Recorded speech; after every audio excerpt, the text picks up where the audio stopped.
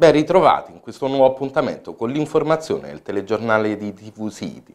In primo piano la riapertura del pronto soccorso dell'ospedale Marisca di Torre del Greco, ieri pomeriggio all'inaugurazione anche il governatore De Luca. E passiamo ad Ercolano, dove ieri mattina si è svolta la celebrazione in commemorazione della piazza a Salvatore Barbaro, vittima innocente di Camorra. Ora la cronaca col maxi blitz dei carabinieri di Ischia contro lo spaccio di droga, due gli arresti e 120.000 euro di sequestro. Invece la Guardia di Finanza ha smascherato la produzione di circa 1.600.000 prodotti contraffatti, tutti legati al merchandise degli europei.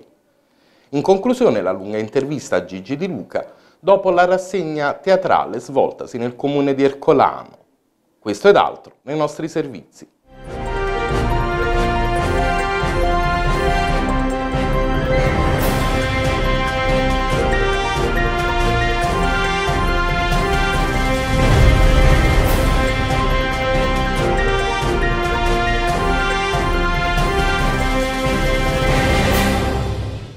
Visitato l'ospedale Maresca in occasione della riattivazione del pronto soccorso. Ieri pomeriggio il governatore della Campania Vincenzo De Luca è intervenuto a Torre del Greco per ringraziare gli operatori sanitari che hanno gestito questi mesi di emergenza sanitaria. Ad accompagnarlo la vicepresidente del Consiglio regionale Loredana Raia e il consigliere regionale Mario Casillo. Presenti tutti i vertici dell'ASL Napoli 3 Sud. Abbiamo fatto innanzitutto una visita per ringraziare tutto il personale medico, infermieristico, amministrativo per il lavoro di questi mesi. Poi abbiamo realizzato due posti nuovi di terapia intensiva, sei di terapia semi-intensiva, con un investimento importante. Ci prepariamo a fare i lavori per il terzo e quarto piano, quindi questo diventerà davvero un ospedale bellissimo, dovremo fare anche dopo decenni i lavori di ristrutturazione ha retto molto bene l'ondata Covid l'ospedale perché per sei mesi eh, è stato un punto di riferimento per i pazienti Covid, oggi si è svuotato il reparto quindi riprendiamo a pieno l'attività ordinaria. Beh, era doveroso venire a ringraziare il personale e confermare l'impegno a potenziare e qualificare sempre di più l'ospedale di Torre del Greco. Questo territorio attende un rilancio da anni che finalmente dunque arriverà. Credo proprio di sì, ce la stiamo mettendo tutta, con investimenti nelle infrastrutture, nella sanità, nei settori produttivi, nell'ambiente. Abbiamo dato un'occhiata al panorama dall'ultimo piano dell'ospedale, è uno dei posti più belli del mondo. Stiamo lavorando per avere il mare pulito e balneabile tutto l'anno, ormai siamo a un passo stiamo completando la rete di depurazione, di reti fognarie, abbiamo tutto quello che ci serve per avere anche una prospettiva di lavoro per i giovani di queste nostre zone. Ce la stiamo mettendo tutta. Dopo l'incontro con il personale all'esterno del pronto soccorso, De Luca ha potuto ammirare il panorama dalla terrazza del quinto piano del vecchio padiglione. Quello che volevamo dare era proprio un senso di rinascita, dopo un periodo che è stato devastante, dopo mesi che sono stati molto difficili e complessi, soprattutto per chi ha gestito questa, questa pandemia, questa situazione di estrema difficoltà che è stato il Covid, adesso questo è un momento di rinascita, quindi la voglia di ritornare alla normalità, la riattivazione di un pronto soccorso che riprende corpo meglio posso dire di come quando ha chiuso perché sicuramente abbiamo potenziato con delle presenze ecco, numeriche. Ecco, come è stato organizzato il lavoro degli operatori? Quali figure specialistiche ci sono all'interno? Guardi, all'interno del pronto soccorso ci sono i, i, gli specialisti di pronto soccorso, quindi le persone che sono all'interno sono il personale che è dedicato al pronto soccorso, non c'è una specialità precisa all'interno del pronto soccorso, ma è un momento come un PS di base, come quello che abbiamo in questo ospedale, un momento nel quale noi accettiamo l'emergenza, gestiamo l'urgenza e poi demandiamo ad attività quando non sono presenti sul sito, ad altre location nel momento in cui dobbiamo gestire delle criticità particolari. Avete previsto anche dei posti di subintensiva? Sì, sono in fase di realizzazione, io credo che nel mese di luglio saranno attivati i lavori perché sono già stati appaltati, quindi anzi oggi dovrebbe esserci presente proprio la ditta eh, che è già stata individuata per l'avvio dei lavori di sei posti di terapia subintensiva che saranno prospicenti al pronto soccorso, per cui dopo l'accesso al pronto soccorso ci sarà l'eventuale eh, stazionamento in subintensiva nel momento in cui abbiamo delle situazioni da dover determinare all'interno della terapia subintensiva. E ci sarà il potenziamento invece in fase 2 dei reparti di chirurgia, medicina già è un ottimo reparto, lo abbiamo potenziato durante il Covid e quindi quei potenziamenti rimarranno, aiuteranno, amplieranno l'offerta di posti letto che già c'era precedentemente e in previsione la ristrutturazione del terzo piano e del quarto piano già in questa prima fase e speriamo di riuscire anche a fare il quinto piano magari con i ribassi d'asta perché l'investimento è di circa 6 milioni quindi contiamo di riuscire a recuperare risorse per concludere una prima fase che è la ristrutturazione del, di tutto questo corpo nel quale concentrare le attività di emergenza cercando di arrivare a un centinaio di posti letto attivi da qui ad un anno. Avete previsto anche investimenti in termini di attrezzature, apparecchiature? Naturalmente sono già in previsione, i finanziamenti stiamo cercando di ottimizzarli, i 6 milioni li utilizzeremo tutti quanti dal punto di vista infrastrutturale, quindi non tecnologico, ma ci sono già dei grossi finanziamenti con il PNRR, si parla di circa 200 milioni di euro che dovrebbero essere dedicati alla Regione Campania, che saranno ripartiti tra le aziende, stiamo preparando la lista della spesa. Oltre ai 6 milioni almeno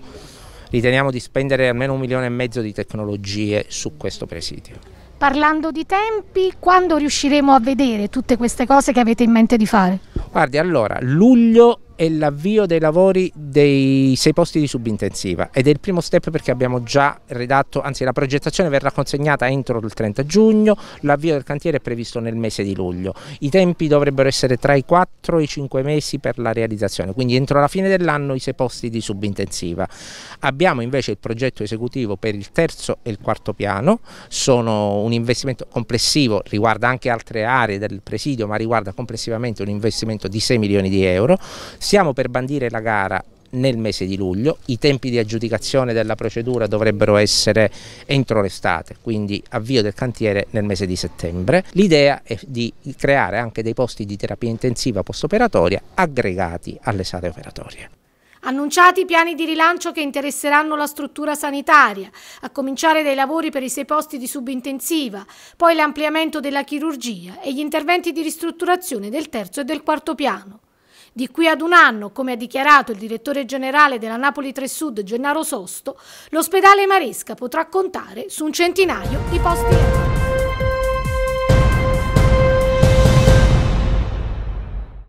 Si è svolta nella mattinata di ieri la cerimonia di intitolazione di Piazza Salvatore Barbaro ad Ercolano, luogo dove quel tragico 13 novembre 2009 Salvatore fu ucciso per errore, perché aveva la stessa automobile del boss, da oggi quella piazza porta il suo nome. Oggi è una giornata positiva per noi, eh, dopo, anni, dopo, 11 anni eh, la memoria di Salvatore è viva perché mio fratello non è morto, è morto fisicamente ma lo spirito c'è, infatti stamattina lui laggiù aspetta proprio noi per far luce di quel maledetto 13 novembre che ci fu solo buio e dolore, non per colpa di mio fratello ma di, per colpa di persone senza cuore la camorra si combatte strada per strada, eh, proprio fisicamente, eh, oltre che ovviamente eh,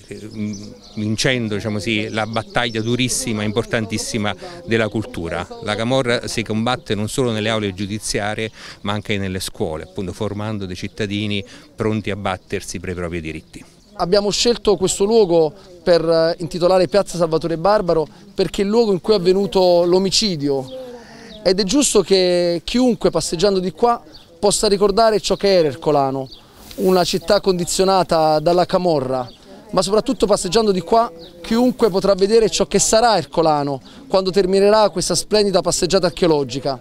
Lì dove prima c'era la camorra e veniva ucciso un ragazzo innocente, domani ci saranno i turisti, ci sarà la bellezza, ci sarà il turismo, ci sarà la cultura e ci sarà la legalità. La battaglia contro la Camorra non la vincono soltanto con gli arresti, non la si vince soltanto con gli ergastoli e con le condanne, la si vince con la buona politica e quindi queste attività non sono simboliche ma sono uno strumento fondamentale per tenere sempre alta l'attenzione. Indietro non si torna e combattiamo contro ogni forma di illegalità.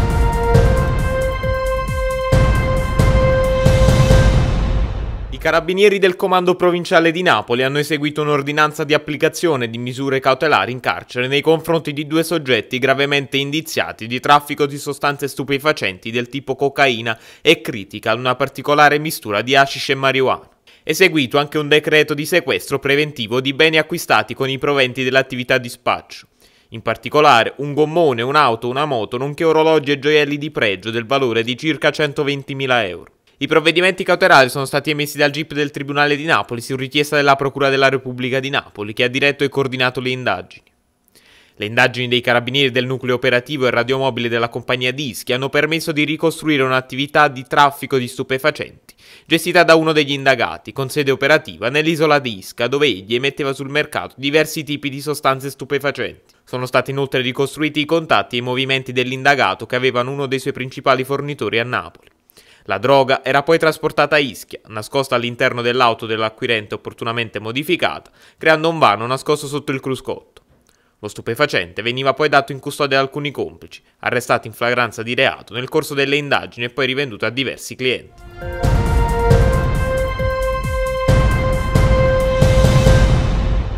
Il Comando Provinciale della Guardia di Finanza di Napoli ha sottoposto a sequestro, nel corso di una serie di interventi operati su tutta l'area metropolitana, oltre 1.600.000 articoli contraffatti e non sicuri, tra cui capi di abbigliamento e gadget connessi all'evento sportivo UEFA Euro 2020, e mascherine prive delle certificazioni minime di sicurezza e di indicazioni per il consumatore, quali l'importatore, il produttore e la descrizione delle caratteristiche in lingua italiana.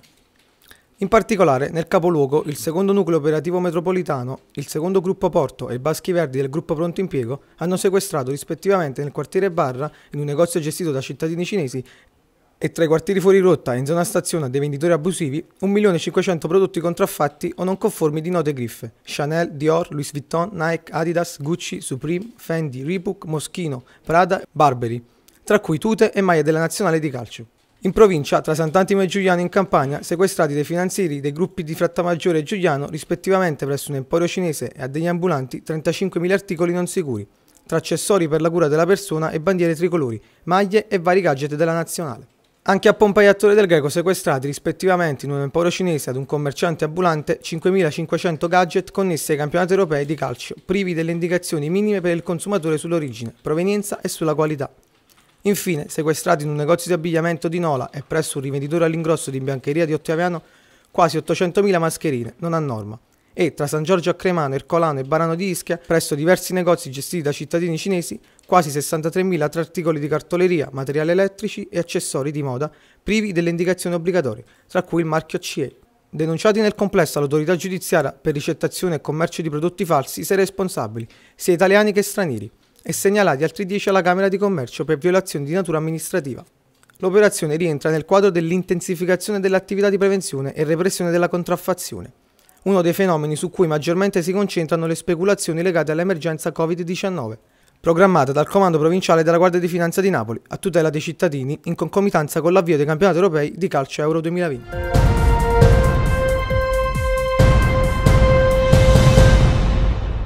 Si è chiuso domenica Open Festival Ercolano nei luoghi e nell'arte, una manifestazione giunta alla terza edizione con la direzione artistica di eh, Gigi Di Luca. Con quali risultati? È stata un'onda contagiosa, ecco, mi piace parlare di contagio al positivo tra artisti, pubblico, luoghi, c'è stata una grande energia. Eh, abbiamo avuto il tutto esaurito per tutti gli eventi, sia quelli diciamo, di spicco che quelli di grande qualità, ma con nomi diciamo, di, di, non da cartellone, se vogliamo così dirla in termini artistici.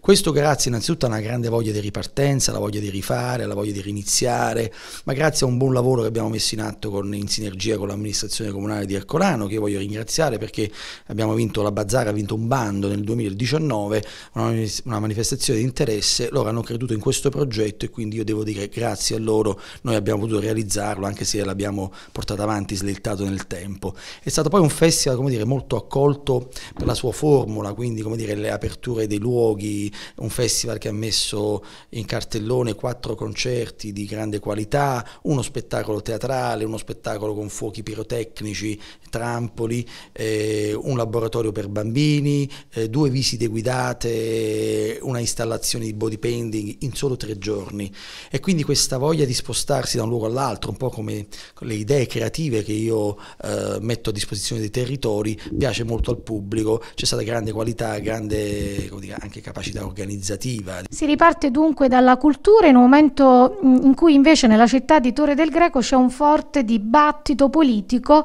su un teatro comunale. Io non, non entro però nel merito se è meglio diciamo, eh, instaurare un teatro in un luogo storico che sia già da tempo adibito a teatro, anche se non, se non più in uso, o in una nuova struttura. Per me possono essere percorsi paralleli, ogni, ogni spazio ha una sua vocazione e una sua suggestione e direi che lavorare in un centro storico eh, diventa un progetto sociale di bonifica di quel centro storico, se però poi si consuma un'idea che, che è a servizio di quel territorio. Lavorare in spazi diciamo, che non sono da centri storici ma che sono anche moderni significa portare più contemporaneità, quindi io non, non entrerei troppo nei luoghi. Dall'oggi a costruire un teatro che sia storico, che sia nuovo, passa del tempo. In questo tempo noi abbiamo bisogno invece come comunità di costruire l'abitudine ad andare a teatro, ad avere rassegne di teatro, rassegne per l'infanzia, spazi per la musica, rassegne diciamo di cultura, di cinema, di, cioè di arte a 360 gradi,